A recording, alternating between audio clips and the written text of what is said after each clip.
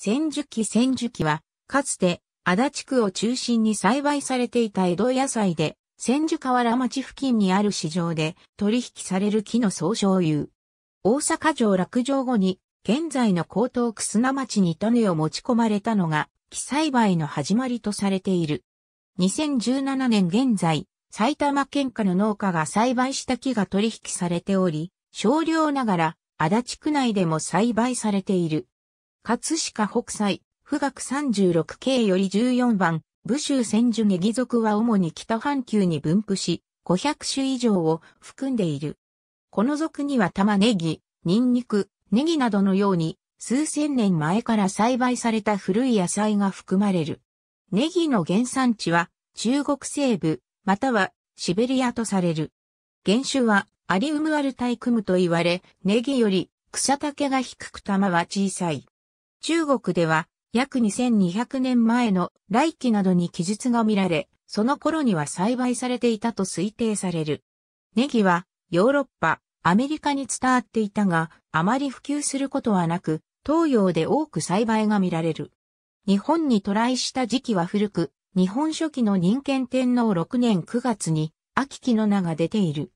本草和名では、和名、木、和名称では木、和名、木、和け木を冬木と記述していて、古くからネギの栽培が行われていたことがわかる。千樹木の原産地は、江戸東部にあった砂村とされる。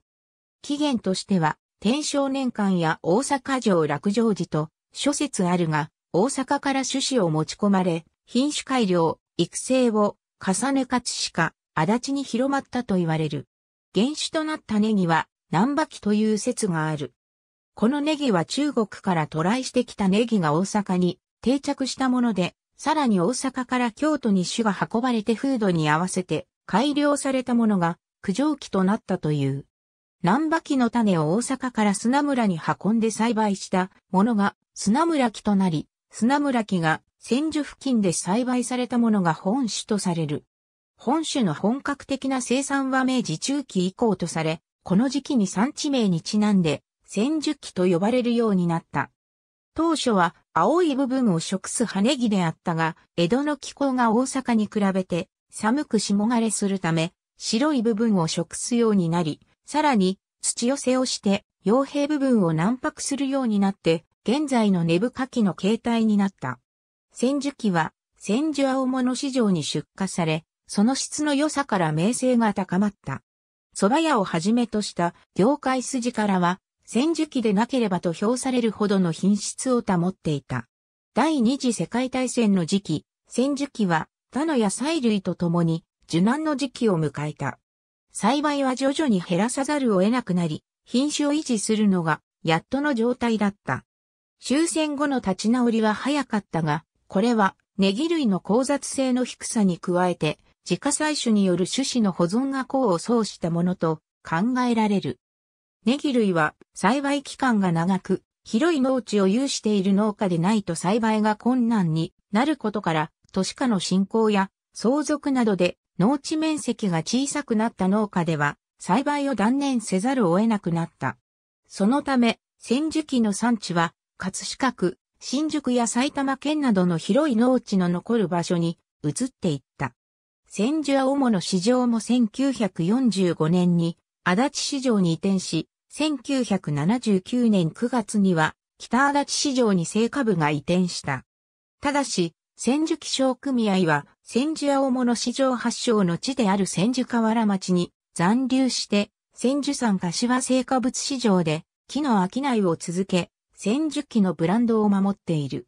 JA 東京グループは、葛飾区東金町の火災神社に千住ネギの産地という屋外説明板を設置している。2011年に JA 東京中央会は江戸東京野菜を商標登録し、千住木を含む34種類の野菜を認証した。葛飾北斎による富岳 36K の14番、武州千住の馬の背のカゴに入っているものは木であるという説もある。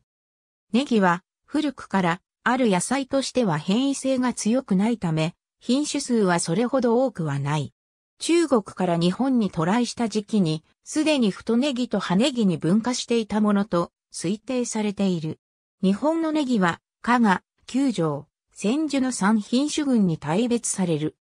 香川太ネギで耐寒性に優れ、九条は葉ネギで年間を通して収穫される。千住は太ネギで秋冬に多く出荷されている。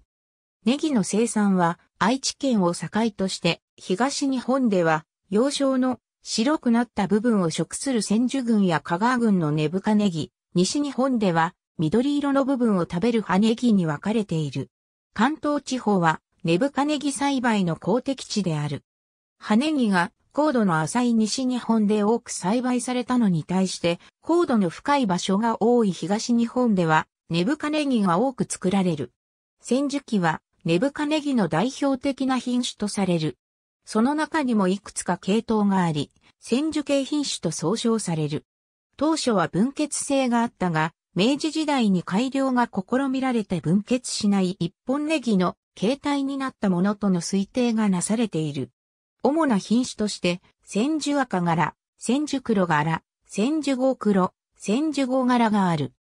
この4系統は大正時代に分類されたもので、葉の色の緑が濃いものから薄いものへと4段階に分かれ、さらにその中にも黒、登る、金長、石倉、玉木などの固有名を持つ品種が細分化されて存在していた。地域の特農家は明治から昭和にかけて品種改良の試みを続けて、これらの品種は各地に広まり、深谷、越谷、石倉、トゲなどの千樹系品種の有名産地が誕生した。昭和30年代になって、葛飾の特農家、長谷淳太郎、清治府市が育成した千住号柄系の金長は、品質、収量とも優れていて、日本全国で栽培が行われた。なお、千樹系品種の電波は、関東地方に限定されず、新潟県、山口県などが見られる。千樹機のブランドとしては、固定種の江戸千樹機、千樹一本ネギ、及び F1 種を使用した千樹機、葛飾区新宿で栽培されている新宿一本ネギなどがある。ネギの生育には高度が深く、保水性に優れた土壌が適している。千樹機は土寄せして栽培するため、崩れやすい性質を持つ砂や火山街道は適していない。千樹を含む東京の東部は、旧利根川、荒川などの河川が運んだ土砂による中積地で適度な水分と砂と粘土が混合した土壌であり、ネギの栽培に向いていた。千樹系の品種は冬季の休眠が浅く成長を続けるため、周年生産用として広く栽培される。作型は、その収穫時期によって秋冬鳥、春鳥、夏秋鳥に大別されている。秋冬鳥栽培のうち年内鳥の品種には、品質が高く対処性のあるチトシアエグロ系、年明け鳥には多少分欠するが低温伸長性がある千樹号柄系が使用され、3月以降に出荷する品種には晩中性が必要となる。発芽の適温は15から25度、生育の適温は15から20度とされている。苗を一色栽培し、土寄せを行って、幼少の部分を軟白してハシ後220日で収穫可能になる。栽培期間が長いため風雨の被害を受けやすく、これらが誘因となる病害を起こしやすい。この品種は酸性土壌を嫌うため、苦土石灰などを散布して、土壌の pH 値を調整する。千住ネギ焼き一歩一歩品種とブランドの節ですでに述べた通り、千住機を含む根深ネギは土寄せをして軟白された幼少の白くなった部分を主に食するが、緑色になった葉の部分も柔らかくて味が良く、薬味などに使うことが可能である。傭兵の白くなった部分が長くてよく締まったものが、千樹機の良品とされている。生食では、葉の部分も含めて薬味に使い、加熱料理では炭火焼き、鍋物の具、味噌汁の具などに広く使われる。品質の良い千樹機は、鍋物や煮物などにして火を通しても、煮崩れせず、甘みが出て美味である。千樹機炒め、千樹機串カツなど、加熱して引き出した木の甘みを生かすレシピも工夫され、千住地区の飲食店で食べることも可能である。また、全日本空輸の2009年の国際線、ファーストクラス機内食において、マンダリンオリエンタル東京による千住機のテリーヌがメニューに加わっていた。すき焼きの名店と称される人形町今半のすき焼きには千住機が使われている。足立区千住中会長の成田支店では千住ならではの千住ネギ焼酎を取り扱っている。この焼酎の製造元は滋賀県の大田酒造で多様な農産物を素材にワインから日本酒、焼酎などを醸造している。大田酒造の創立者の先祖には大田道館がいて、江戸城追記の時期には千住に住んでいた。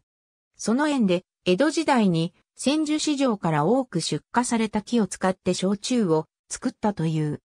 浅草神社に奉納される千住期給食学校給食の場において台東区内の専属小学校、田原小学校では、献立名に、千樹記と書かれたすき焼きなどのメニューがある。根岸小学校には、ブランド豚である、東京 X を一緒に使った献立もある。また、忍ヶ丘中学校では、地産地消を考える対象として、千樹記を取り上げている。栽培、収穫体験授業足立区内の平野小学校、栗原北小学校、千住双葉小学校では固定種を使った千樹機の栽培授業が行われている。固定種を使うことにより収穫後に種が採取できるため、下級生に種を引き継ぐことができ、次年度の作付けに使用できることから、地元農業や食、種をつないでいくことを学んでいる。このうち千住双葉小学校は、屋上菜園での栽培を行っている。葛飾区の新宿小学校では、葛飾区教育振興ビジョンの一環として、千住期のこの地区の特産である新宿一本ネギを区内の農家に赴き小学生に収穫をしてもらい、翌日の給食に提供されるという収穫体験授業が行われた。2009年より毎年2月、浅草神社へ五穀豊穣と商売繁盛を祈願して、千住期の奉納が行われている。ありがとうございます。